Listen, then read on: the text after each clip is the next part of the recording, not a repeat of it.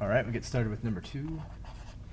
Uh, it's given y equals e to the negative x, and that the differential equation is 3y prime plus 4y equals e to the negative x. So again, what we're trying to prove is that this function, uh, along with its derivative, is a solution to this equation, meaning that if we took the derivative of this equation and plugged it in for y prime, that this equation would be solved. Um, and it might also include plugging in y as e to the negative x. So first let's take the derivative. y prime equals negative e to the negative x. Okay, no problem there. Uh, so we're going to take this and substitute it for y prime, see what happens. 3 times negative e to the negative x plus 4y equals e to the negative x. It doesn't seem to be working out, uh, but if you'll notice, like there's a lot of e to the negative x's involved, so it might be best for us to just go ahead and make that substitution.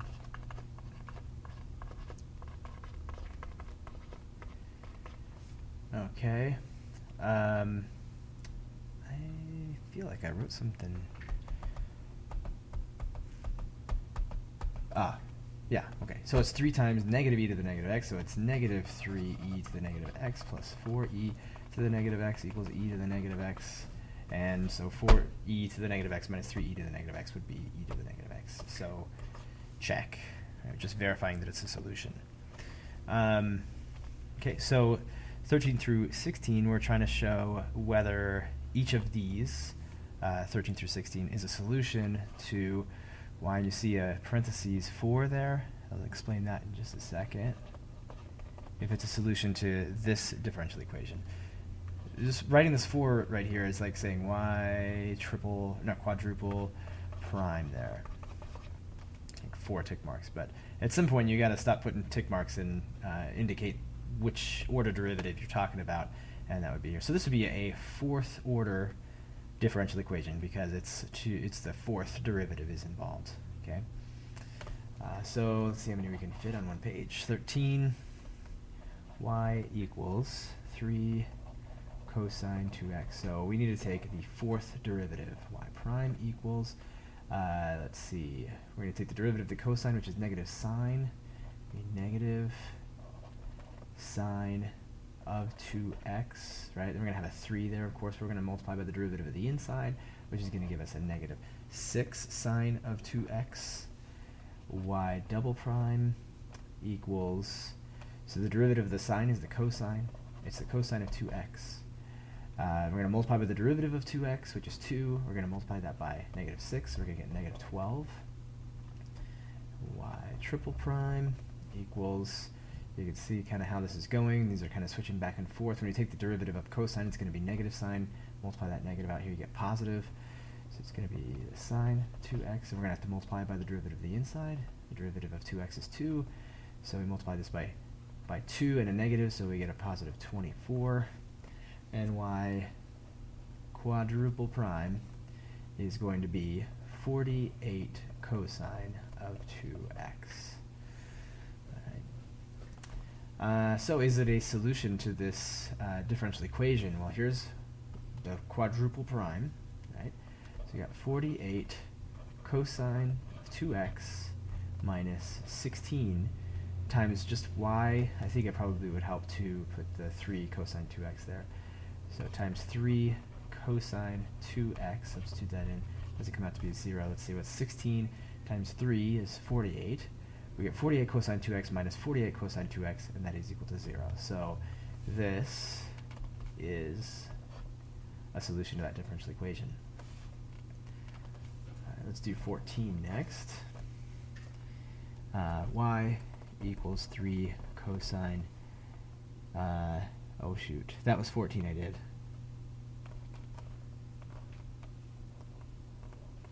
That was 14 I did, so wasn't paying good enough attention. Now this is 13.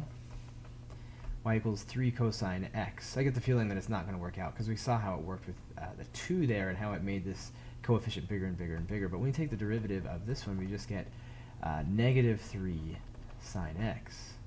Right? And then there's no inside function to multiply by, so this stays the same. It, uh, not the same, it's, it's negative, but it's still 3. And here we're going to have the derivative of this will be negative 3 times the cosine of x, because the derivative of sine is cosine. y triple prime is uh, 3 sine x, and y quadruple prime is 3 cosine x. Right, if we plug that into this differential equation, we will get, this is 3 cosine x minus 16 times 3 cosine x. And we get 3 cosine x cosine x minus 48 cosine x.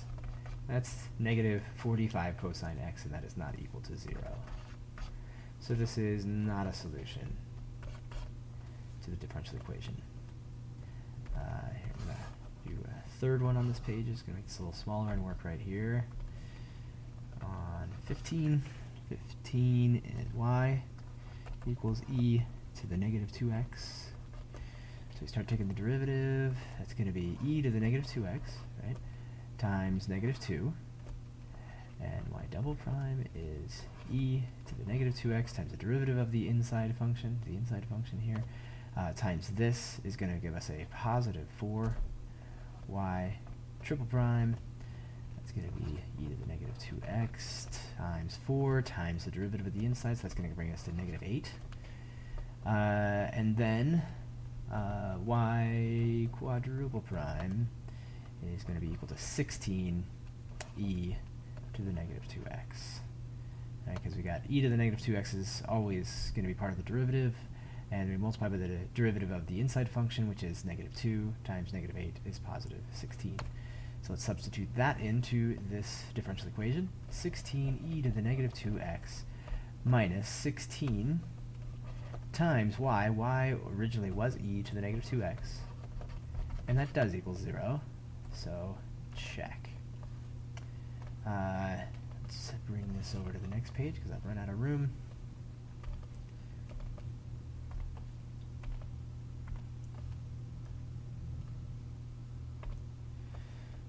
And do number 16. y equals 5 natural log x. This will be interesting. Okay, so y prime equals 5 times 1 over x. y double prime equals, well, this is 5x to the negative 1, so we get negative 5x to the negative 2. y triple prime equals 10x to the negative 3, and um, yep, y quadruple prime would be negative 30x to the negative 4. So substitute that in. We've got negative 30x to the negative 4 minus 16 times y, which there's no really way to verify that that would be equal to 0, but if we substitute it in with something that's in terms of x, we've got uh, 16 times 5 natural log x equals 0. Uh, no, this in no way equals 0. Um, no. So that'd be uh, 80 natural log x and negative 30 over x to the fourth.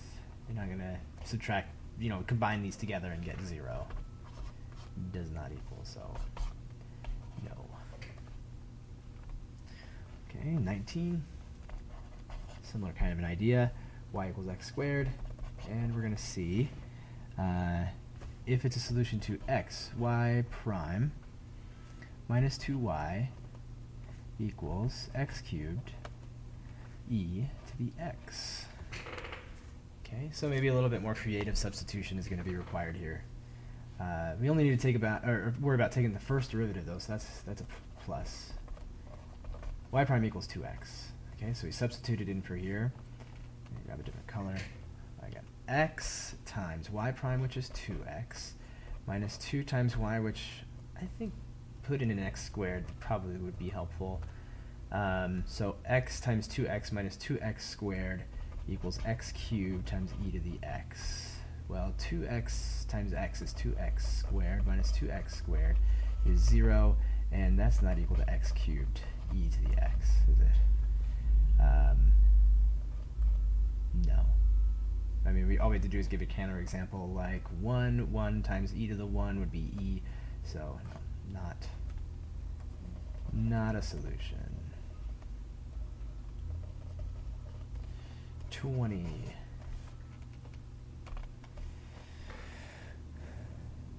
y equals x squared e to the x, e to the x, yeah. So y prime equals, I gotta use the product rule here, so 2x e to the x plus uh, x squared e to the x, because e to the x is its own derivative.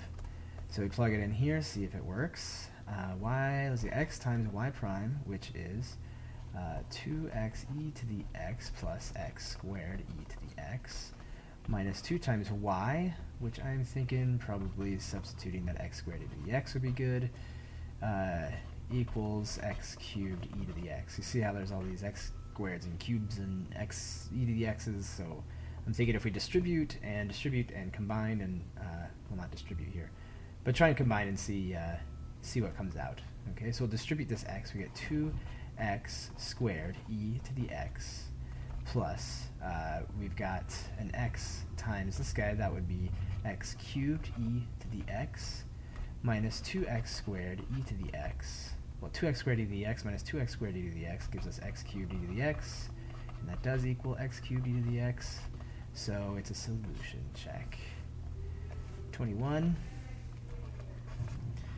is y equals x squared times 2 plus e to the x.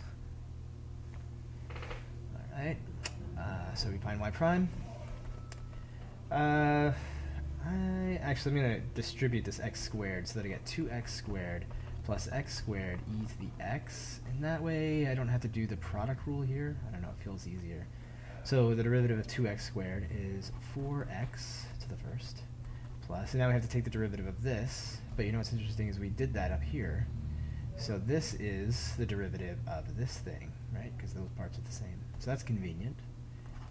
I didn't know that was going to happen. Alright. So we take that, we substitute it into here and see what happens. So we get x times y prime, which is 4x plus 2x e to the x uh, plus x squared e to the x minus 2 times y, which I'm thinking we should probably go ahead and let that be uh, this. 2x squared plus x squared e to the x. Does that equal x cubed e to the x? Right, just making these substitutions into this equation. Um, so let's see, I'm going to distribute this x. We get 4x squared plus 2x e to the x. Wrong. Distributing this x gives me then 2x squared e to the x plus x to the third e to the x minus 2 times 2, that's 4x squared, uh, minus 2x squared e to the x. Alright, let's see, 4x squared minus 4x squared, those are going to cancel. Uh, 2x squared e to the x, uh, 2x squared e to the x, so those are going to cancel. And so we're just left with x cubed e to the x equals x cubed e to the x, so this also is a solution. Check.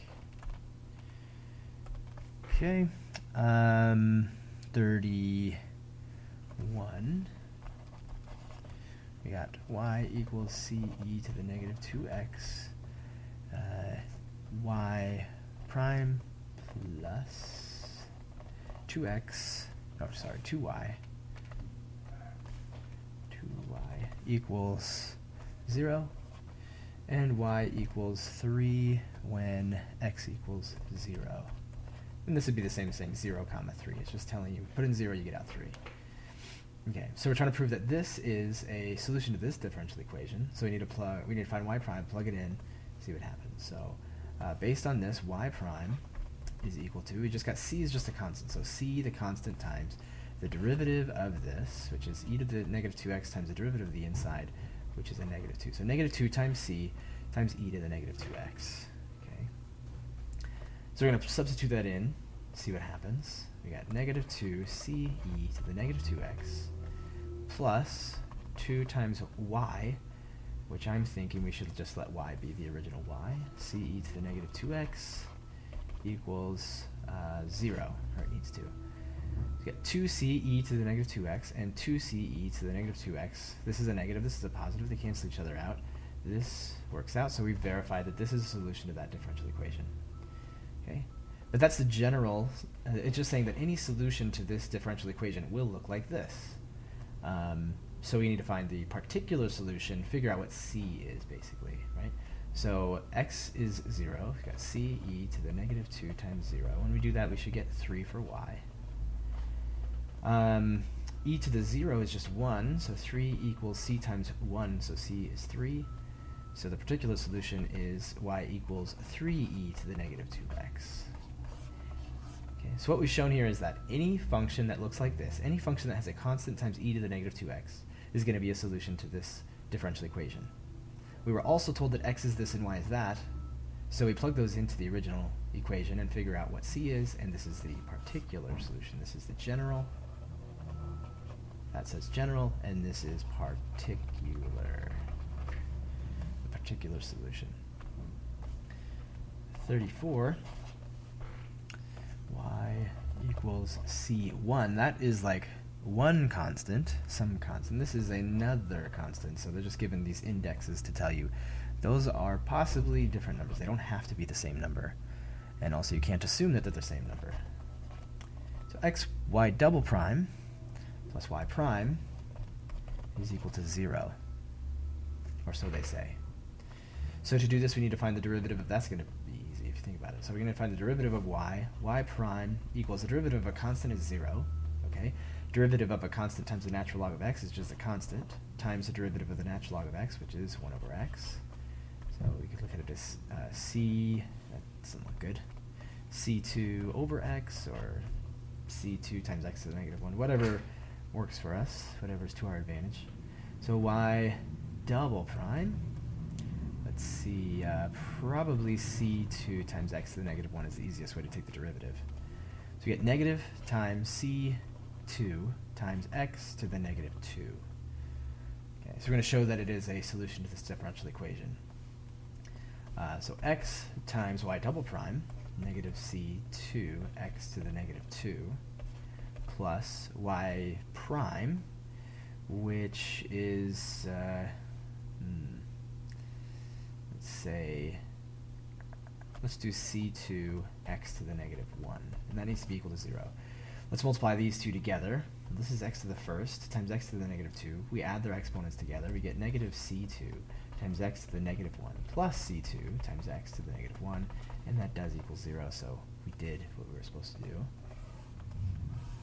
Alright, then they give us this other information that uh, y equals 0 when x equals 2,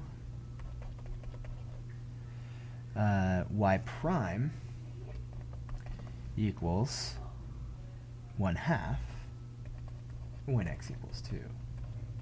Now why would they give us two pieces of information? Because there's two variables here, two constants we're trying to figure out. If they just gave us one and we plugged it into the original equation, there's no way you could solve for both of those variables. So what they're doing is giving us uh, basically a system of, equations. Okay. If we use this one first, look at y prime. y prime only has one variable once you replace x and y, or x and y prime, excuse me. So then we can solve for uh, c2. So I'm going to put it in this version. y prime, which is 1 half, equals c2, which is what we're looking for, times 1 over 2. All right. So we multiply both sides by 2, and we get c2 equals 1. And now we know c2 equals 1. So now uh, y equals c1 plus 1 times the natural log of x. And now we can use x is 2 and y is 0. 0 equals c1 plus the natural log of, of 2. Okay, so c1 equals the negative natural log of 2 if we subtract natural log of 2 on both sides. So the particular solution now with all that information is y equals c1, which is negative natural log of 2, plus c2, which is just 1, times the natural log of x. The negative natural log of 2 plus the natural log of x. You know, we could do, um, we could combine these using those properties of logarithms. If I write it as the natural log of x minus the natural log of 2, I could do the natural log of x over 2. Uh, that looks a little better. There we go. There's a particular solution. Uh, onward to number 38. Uh, dy dx equals x cubed minus 4x. So now we're no longer looking, or no, we're no longer trying to prove that something is a solution to a differential equation. We're actually finding the solution to a differential equation, which is uh, pretty simple if you think about it, because what they're saying is that uh, this is a differential equation. The derivative of some function y with respect to x is this. So we need to find that function. Well, if we had a function y uh, that was a solution, if we took the derivative of this function, dy dx, we should get that. So how do we find that? Well, we're trying to find a function uh, that has this as its derivative, so we're trying to find the antiderivative. Right? The antiderivative of x to the third minus 4x dx. Okay. That's what we're going to do. So y equals, take the antiderivative of this, so this is going to be x to the fourth, right? And we need a 1 fourth there, so that 4 times 1 fourth gives us that 1 right there. 1 that's in front. Uh, minus this is going to be x squared, and we need this to be a 4, so we'll put a 2 there. So that 2 times negative 2 is negative 4. Subtract 1 from the ex exponent, you get x to the first. Plus c. Okay? So this is the solution to that differential equation. Because if I take the derivative of this, I'm going to get x cubed minus 4x. And if I, you know, if I take the derivative of this and I substitute it in for dy dx, they're just going to be the same thing. The ones that we actually have to find the solutions for are much simpler uh, functions than the ones that we're trying to verify are solutions to the differential equations, you know, the ones that we have done so far. 39 as dy dx equals x over 1 plus x squared. Alright. And since it's given to us in this kind of cut and dry way, they're saying there is a function whose derivative is, the, is such, then the function itself must be the antiderivative of that function.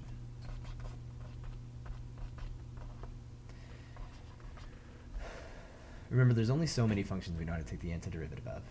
Um, like u to the n power, like x to the x to the third, right? Or x plus 2 to the third times dx or du, whatever, if we need to use some u substitution. Just something to a power times its own derivative. We can do that. We can do the trig functions, a lot of them. Sine of u du, cosine, uh, negative sine, negative cosine, tangent, uh, or secant tangent, secant squared. We could even do tangent and cotangent if we wanted to. Um, we could do those. Um, we can do, uh, what's another one? e to the u to u. If you can get it written as e to some power times the derivative of that power, we can take the antiderivative being e to the u plus c. Right? And this would be uh, u to the n plus 1 over n plus 1. Um, and then, you know, the, the trig functions have their own derivatives, which you're familiar with. And then how about du over u? Um, well, that would just be the natural log of u, the absolute value of u, plus c, plus c, plus c, of course. So how do we get this to look like one of those?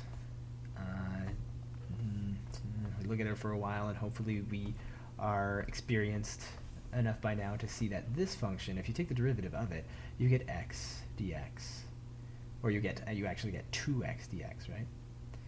So if I put a 2 there, then I would have, this guy down here would be u. And if I take the derivative of u, derivative of 1 plus x squared, the derivative would be 2x dx. So I'll put a 1 half out here. All right, we're using u substitution, we're using the natural log here. So we got 1 half times the natural log of the absolute value of u, which is 1 plus x squared, plus c. Right, so the solution to this differential equation has to look like this. And they don't tell us what x and y are at any time, so we just have to give the general solution. Uh, 40, number 40. Dy dx equals uh, e to the x over 1 plus e to the x. So since it's just given, dy dx, some, some function has a derivative, that is e to the x over 1 plus e to the x, then the function we're looking for must be the antiderivative of the function we're given, since we're given the derivative of the function we're looking for. dx. How do we make this work? Well, if you notice again, this guy down here, if you let it be u, and you take the derivative of it, you get this. Because the derivative of 1 is 0, derivative of e to the x is e to the x, so this is du. So this is du over u, which gives us the natural log of the absolute value of u. u is 1 plus e to the x. We didn't even need to multiply by 1 half or anything like that. Um, plus c, and actually to think about e to the x, is always going to be positive. So 1 plus an always positive number will be, never be negative, so there's no need for the absolute value. Let's see. That's the solution. That's the general solution to that differential equation. So, so far, finding the solutions to differential equations looks a lot like taking the antiderivative.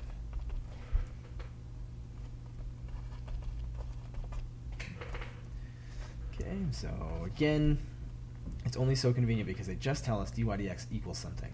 So to find y, we must have to go backwards and find the antiderivative. Not all differential equations are that easy, but that's for later. So the antiderivative of sine of 2x, let's see, we can just kind of piece this together here. I know if I take the the antiderivative, it's going to be a cosine, but then again, the cosine of 2x, the derivative of the cosine is a negative. So then put a negative so that when I get negative negative sign and it's negative then it comes out positive.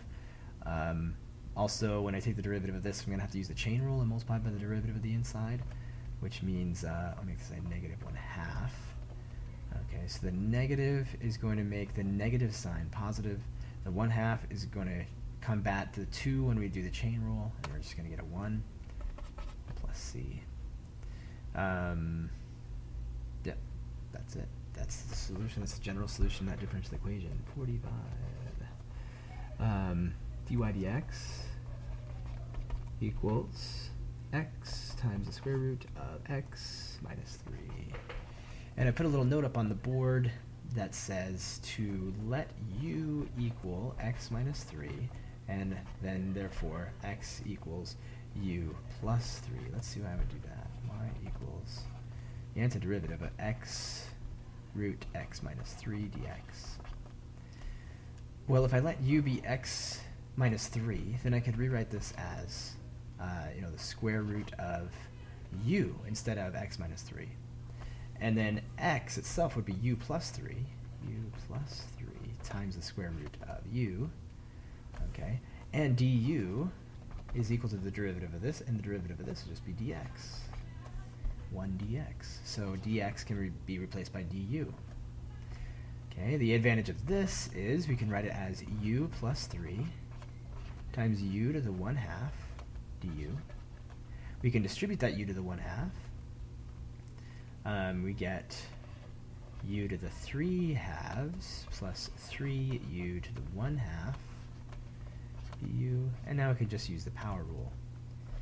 So we add 1 to this power, we get u to the 5 halves divided by 5 halves, or types 2 fifths, plus 3, no, not 3. Uh, see, u to the 3 halves. Uh, we want to wind up with a 3 here, so like we could put 2, so when we multiply by 3 halves, the 2's cancel, and we wind up with a 3, uh, plus c. And then we just substitute u we substitute what u is back in, and u is x minus 3. So 2 fifths times x minus 3 to the 5 halves plus 2 times u, which is x minus 3, to the 3 halves plus c. That plus c looks like it's maybe in the exponent, which is not. It's right there. There it is. Cananetti. Um, number 50, dy dx equals x minus y. Okay, so some function's derivative is x minus y. Now this has to do with slope fields, and I'm going to draw a really crude version of this slope field that uh, you feel free to look in your book to see what it actually looks like. But uh, you know, it looks like a bunch of slopes like this through here, and some slopes like this, and you know, it looks like this, sort of. Actually, should be kind of more pointy down there, more of an exaggerated curve, and then something like these.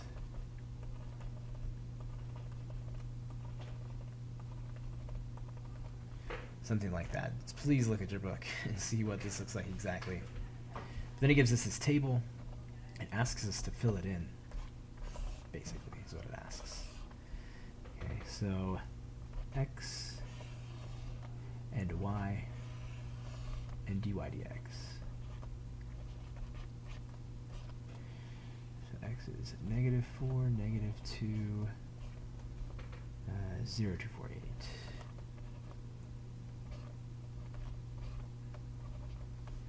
And y is 2, 0, 4, 4, 6, 8. And we're supposed to figure out what dy dx is. They tell us x and y, we can just plug them in there, right? Um, so dy dx equals, uh, for this value, negative 4 minus 2, x minus y, so negative 6. So if you look at your much better looking graph in your book and you go to negative 4 comma 2, negative 4 comma 2, uh, you look at the slope of that slanty thing, uh, that just that little tick mark, it's going to be pretty steep in the negative direction, pretty believable as a slope of negative 6, right? Up 6 and over 1. That's what that that that little slant should look like it's a piece of a line, a line that has a slope of negative 6. Uh, this guy here, we got negative 2 minus 0, so negative 2. If you go to negative 2, 0, right here on the x-axis x axis at negative 2, it looks like this guy has a slope of negative 2 up 2 and over 1. Um, yeah. Yeah, it does. Um, then we got 0 minus 4, negative 4. The slope at 0 comma 4 should look like negative 4. The slope at 2, 4 should look like 2 minus 4, negative 2. The slope at 4, 6, 4, 6 should look like 4 minus 6, negative 2. And 8 minus 8, we should have a slope of 0 at 8, 8. So if you go to 8, 8, we should see a, slope of 0. Uh, which, looking at mine, I see 1. Yeah, it looks like a slope of 0 right there. All right. Um, 53 through 56. Um, so you're going to have to have your book out for sure for this one because I'm not going to try and draw all these. Dy dx equals cosine of 2x. So we got to figure out which of these slope fields uh, is the slope field for this differential equation. Okay, now just let me run you through again what all this means. This is the derivative. Remember that the derivative, if the derivative gives you a number, an output, that output represents the slope, the slope of the tangent line of the function at that point. The slope of, of what? Of, of, of what tangent line to what function? To the function y? So there's this function y, and this is its derivative. This derivative tells you the slope of y. And so if you look at the slope field, the slope field tells you the slope of this function at any x comma y. Okay? Now this particular differential equation only has x in it. Right? The previous one we just looked at it was x minus y, but this one's just uh, cosine of 2x. So all I have to do is plug in x.